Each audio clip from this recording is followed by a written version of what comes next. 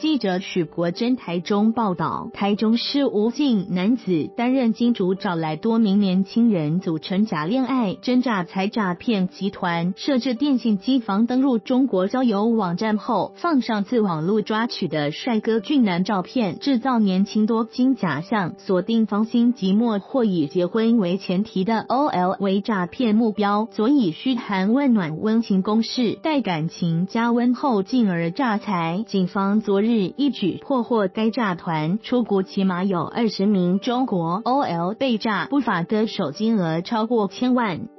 警方说，该诈团由四十三岁吴男找来，几乎都是八十年次左右的林姓男子等五人担任一线话务人员，透过上网登入中国世纪家园、百合婚礼、遇见等交友网站寻找目标。除了先过滤对象有无固定薪水及经济基础外，还可透过即时通联系骗取的资，在于网站放上面貌较好的型男照片，谎称从事地产开发、风险。投资、金融产品等行业，制造年轻多金且有正当职业假象。接着，这些小鲜肉锁定芳心寂寞或以结婚为前提的 OL 为诈骗目标，开始与被害人透过即时通 QQ 软体联系。除了白天温柔问候关怀，天冷要记得加衣服。这么晚了，吃饭了没？嘘寒问暖，等到晚上再进行。外表其实不是我最要求的，我找的是能陪伴我一生的伴。我要的是内心的交流等热络、暧昧、体贴的甜言蜜语攻势。经过一段时。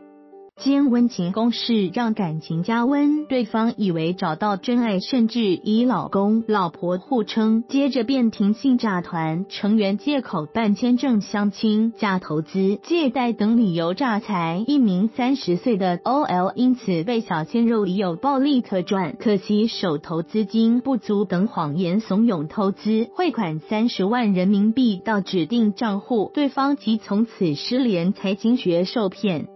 案经台中市第四分局侦查队数月侦办，本月二十四日，兵分多路，在台中北区、西屯区等高级住宅内破获诈骗机房，逮捕吴男及五名共犯，并查扣笔电、工作手机、交战手册及白色宾士车一辆等赃证物。经清查，起码有二十名中国 OL 遭诈财十万到三十万元不等人民币。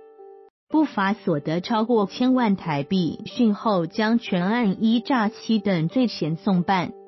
自由时报电子报提醒您：防诈骗专线一百六十五，报案专线一百一十。